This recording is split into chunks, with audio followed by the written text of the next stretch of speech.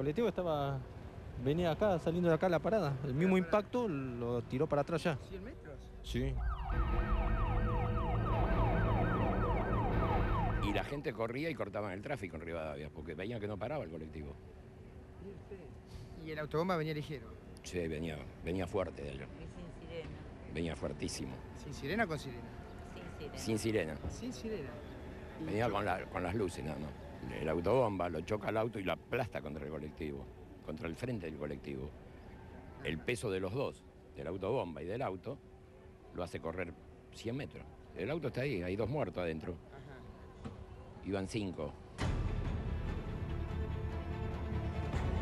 Primero el bombero lo dio al coche blanco y el bombero se vino más con el coche y nos dio a nosotros, porque nosotros estábamos parados en semáforo rojo. Y después venía, nos dio con todo y nos recorrieron para allá, para allá y ahí nos detenemos. ¿Y cómo fue que el colectivo retrocedió 100 metros? ¿Qué le pasó al colectivero?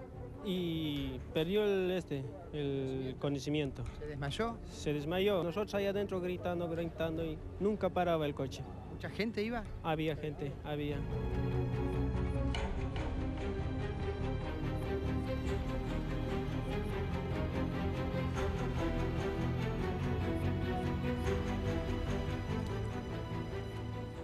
Impactantes las imágenes, ¿eh?